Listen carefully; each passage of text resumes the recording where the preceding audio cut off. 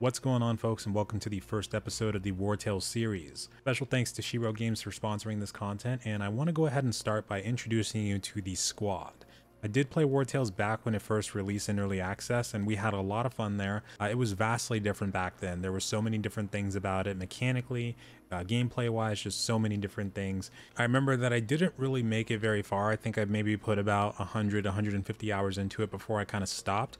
Um, I do have, I believe, 18 members total in my troop. However, not all of them are fighters, of course. Four of them are just regular horses. So starting from the animals up, I got my first bear over here on the left side, King Rollo. Second bear, King Bjorn, right here in the middle. Both of these, of course, are, you know, references from the Viking show. I used to love that show. And my third one, my favorite bear, this is my bread and butter right here, is Sir Bubbles. He is the powerhouse of the group right now. He's got a whopping 912 health. I swear when I first saw this, like how much health bears get, I was like, this is crazy, this is OP.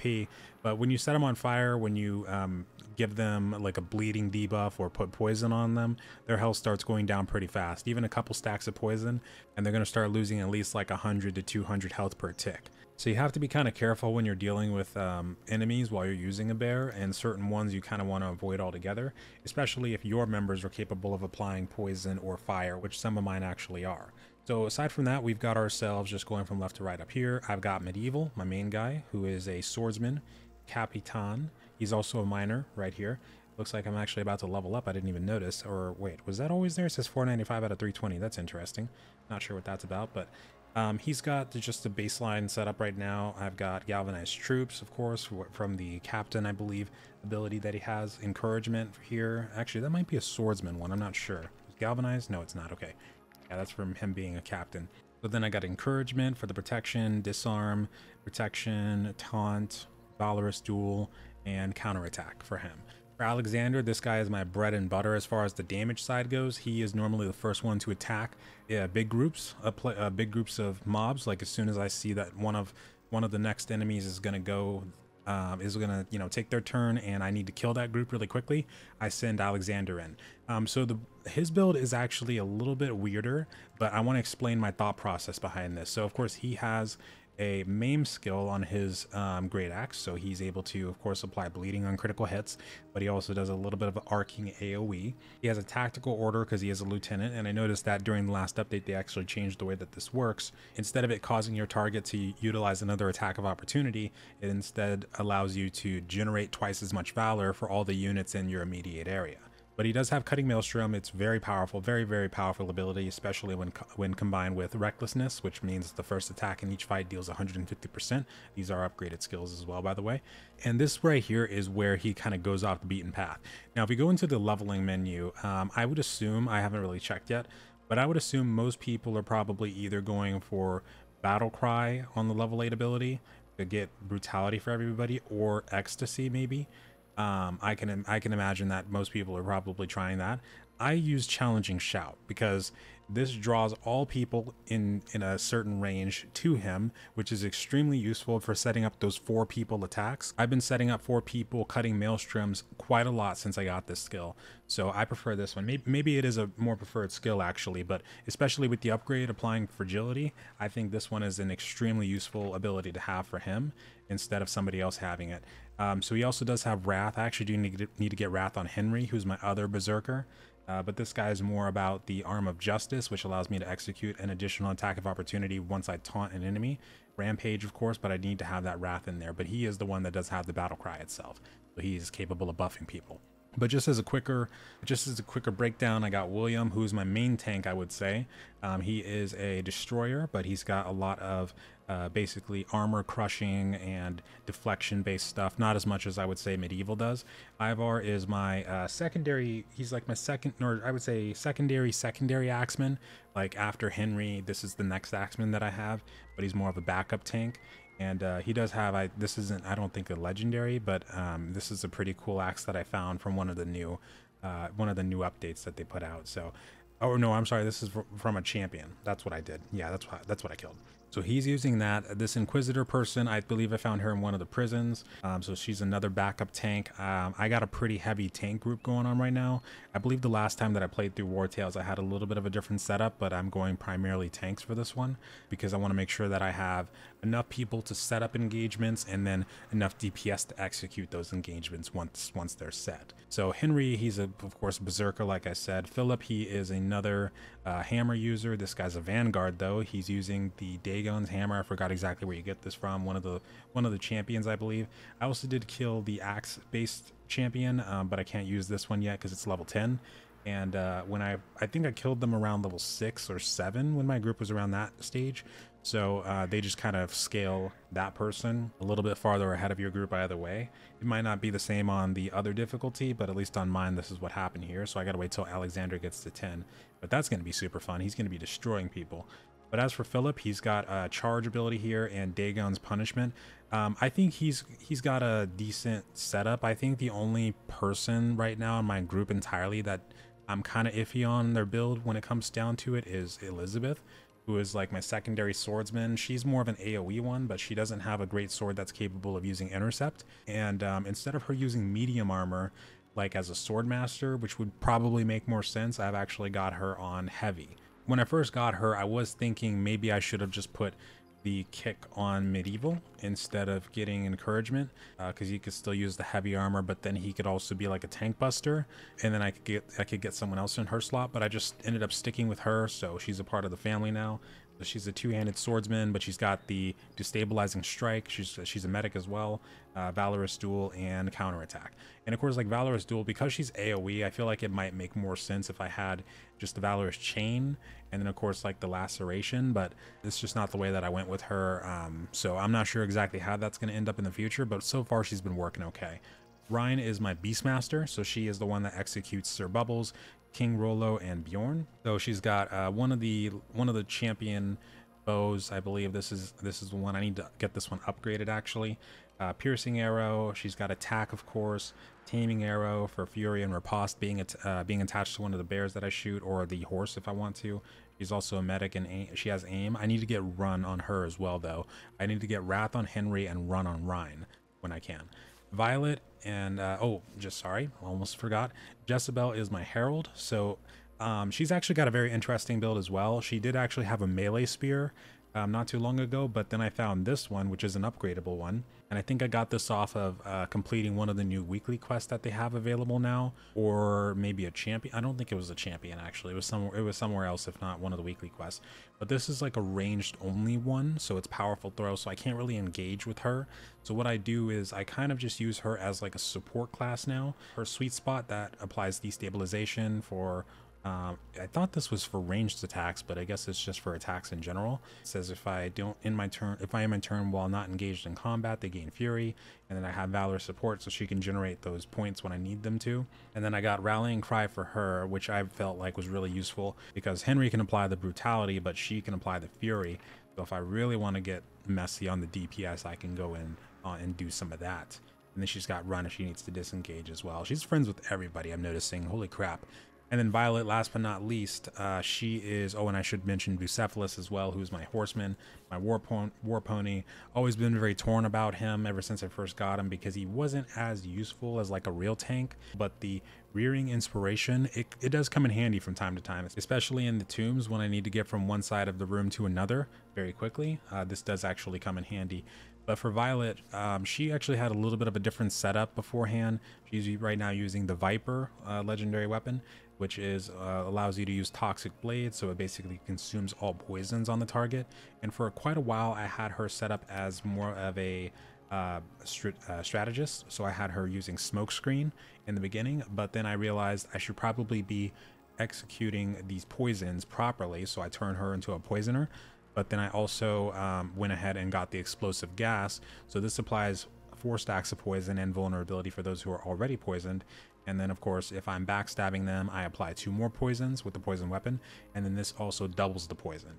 Um, the only thing though is I need to get, um, they changed up the recipes recently, but uh, I know I know you might be wondering this, but I am going to try to get her some poison pouches that she's capable of throwing. Uh, I did have those before this last update uh, in the offhand, but then when they made the new update, for some reason, uh, I it kind of disappeared from my recipes. So I'm not sure. I think it's one of these ones, but I've been trying to find the recipe. I'm not sure where to get it now, but I haven't been able to really locate it. So I need to get that as soon as possible again because I had it before that update. But then I guess they must have reset a lot of that stuff. But anyway, that's my crew so far. Let's go ahead and get some rest up here and we'll get back into the journey. We got a little bit of a ways to go for right now. Um, I've been doing a lot of trading as far as like trying to earn money. I've been finding that trading is amazing for gaining money. I've been getting so, so much. And it's been helping a lot with uh, getting extra points as far as like the paths go. I'll show you my paths in just a second, but what is this actually? Hold on. We'll produce, oh, that's Interesting. I don't know you could do that with the new campfires. Cool. Let me get this going here and rest. I probably need to get rid of those carcasses actually. Perfect. All right, and I've been using these train. This is an upgraded training dummy. Most of the camp it's, itself is upgraded. Uh, we still got a ways to go on these middle area parts here. Um, this tent as well. Camp chest, I don't know if you can upgrade that. I'll have to look as well. Lecterns not that not that upgraded. The training dummy is though for sure that one is because uh, I need to I need to make sure my companions are always gaining experience. But we'll get we'll get this going uh, slowly, slowly but surely. And then let's see what he's talking about facing the go pack. Goes pack was too much for me. You'd be all right, buddy. Don't worry about it. Uh, rest up a little bit longer. Cool. And actually, fighting the ghost packs in this game used to terrify me, but I've actually been doing okay against them. Not not really any trouble at all. Um, so it's been doing it's been going a lot better. But I remember when I first started playing the game back when it was in early access, especially the ghost packs were freaking terrifying. They were absolutely terrifying. So I also do have a couple of travel posts already built um, because that is a mechanic that's now in the game, which is pretty cool actually. It allows you to uh, travel between different different uh, travel posts depending on which ones you have built. It's basically fast travel.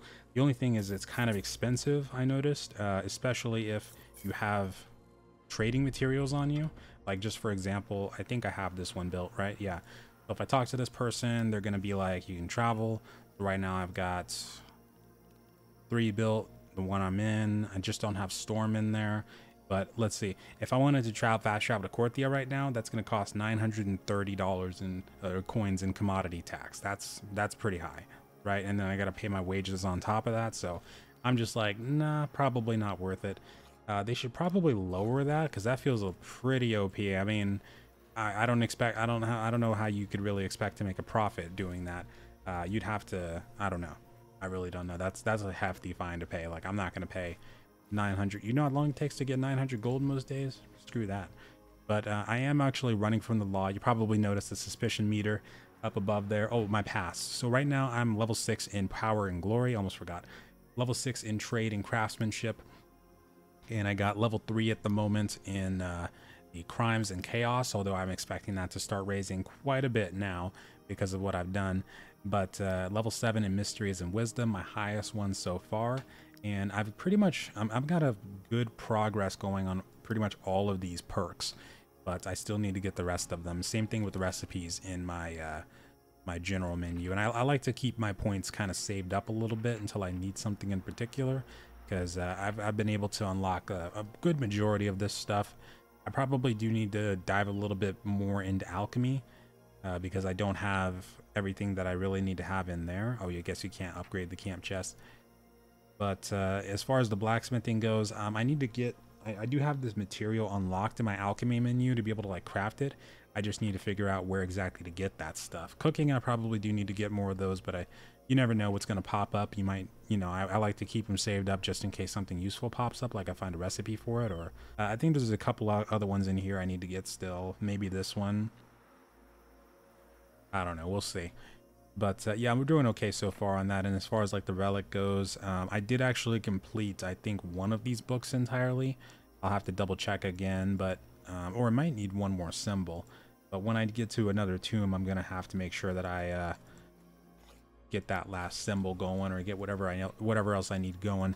But as I was saying, um, so the suspicion menu up here, I actually rated a golden caravan, which was pretty difficult to do even on the difficulty, the, the novice combat difficulty. Was difficult after that update because, like I said, uh, that update introduced a bunch of veteran mobs with stars on them, so it was um, they were pretty tough. And then also on top of that, they get reinforcements every single time. I tried to I tried to kind of wait them out, see if like if I caught them near a forest or if I caught them like uh, far from a city, if I could avoid the reinforcements. But it seems like they just come every time. But yeah, it was tough. It was pretty tough. All right, but something I haven't done yet is completed this Nair, Nairolf Arena. I don't know how you really say that. But uh, I did see that they have a bow that I can win. So I'm really interested in getting into this. Oh, wait, I need to make sure that I uh, rest up before I do this. Make sure I have my full Valor points going. Can't forget that. Okay. Yeah, let's give this a shot. Hopefully this will uh, work a little bit better. Oh, great. There's guards right there. Okay. And uh, my characters are like overtuned for this to the max right now. Uh, I've been trying to level up my guys all to level 8 before I start getting anybody past 9. Because uh, since it's adaptive, I'm assuming that once I get a, at least like one or two people past 9, everybody else that I start fighting is going to be a level 9. So I got to make sure that I'm prepared for before then. Because right now when I recruit people, they're starting out at level like 4 or 5-ish. So I need to make sure that I'm good to go on that. Um, I'm not sure who I should bring in. When I bring in Violet, it's kind of messy. Um, because she's able to apply the poisons, which does a crap ton of damage over time to the enemy.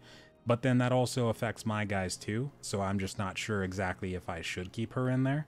Um, but I definitely want to bring Alexander. He's an always he's he's always always got to have him. And then I think I, I wanted to bring Ryan in again, but I think she's kind of useless in here because I mean she's focused more around beast mastery. So unless I could bring the bear in, which I w- if I could bring in Bubbles, he'd be my fourth for sure. Uh, unless I can bring the bear in, I don't really care. So I probably, I, I might stick with just Henry. Um, yeah, because uh, between rounds, it's going to allow us to kind of choose if we want to repair our armor or health, you know, heal ourselves or what have you. And Violet, if if I let her uh, throw her poison and crap, it's probably gonna. I mean, I could just learn to aim, realistically. Um, you know, it probably will be fine. We'll we'll find out. We'll figure it out. Let's do this. I just got to do it in a way where I don't end up hitting my other guys. So, okay. Okay. Alright, so I'm going to take Alexander first. Let's put this bad boy right in the middle of these two bastards. Actually, I don't know if I could reach those two. How big is that? Man, it'll be really bad if I can't reach those two. Let's see. Perfect. This is why I like the challenging shout. Or what's that called? Yeah, challenging shout. Boom. Boom goes the dynamite. Got both of them right then and there. That's two down already. You know what I mean? Perfect. And then uh, I'm going to go ahead and send... I'm going to keep William on Bronin, and I'm going to try to get Medieval right in here. I might be able to disarm this person as well.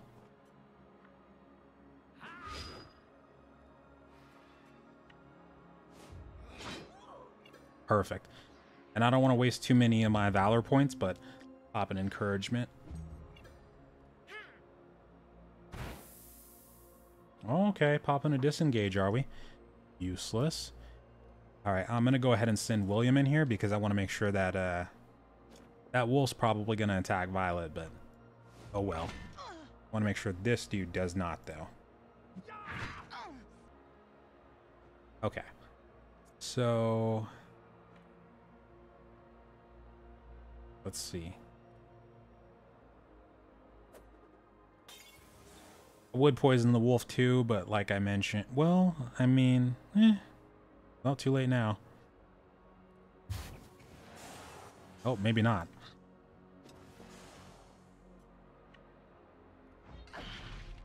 That's juicy. That's that's what I want right there. Yeah, so Violet's pretty much like she she deals a crap ton of damage when she executes that poison strike, and uh, like they're gonna take a lot of damage over time. It's just that my guys, you know, when it starts to stack up, they do too.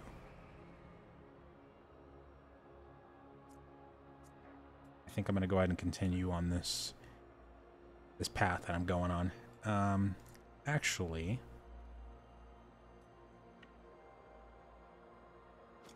you, my friend, go there. Oh, I was so confident he'd be able to wipe him out in one go. Alexander usually does more damage than this. That's weird. Do I get another hit? No? Okay, then. Oh, but I can use Wrath. Perfect. Yeah, this battle's pretty much over.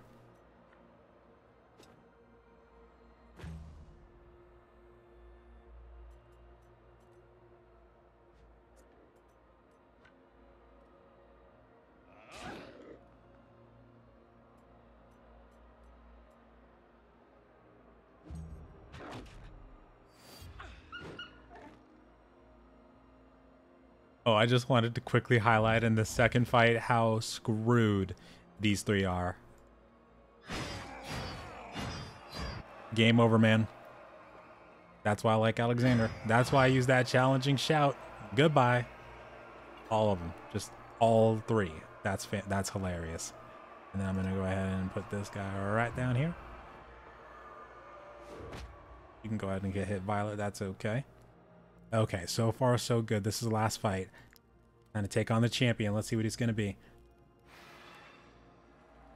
Oh, shiz, there's a bear. Okay. Um, who goes first? Wolf. Okay. Got it. Got it, got it. I think we can do this. Uh, oh, he's only got 232 health. Are you serious? Wait, that bear goes, right? Oh, okay. This is going to be, this is going to be relatively okay.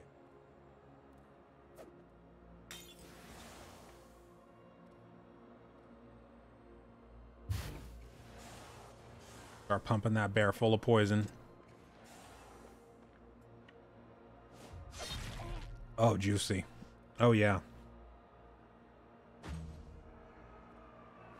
He might die right away.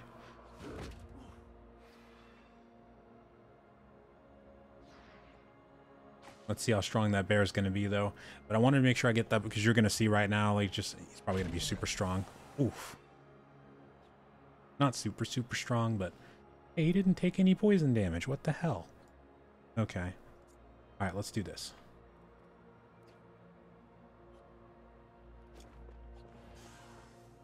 Oh, juicy. I wasn't sure if I could do it.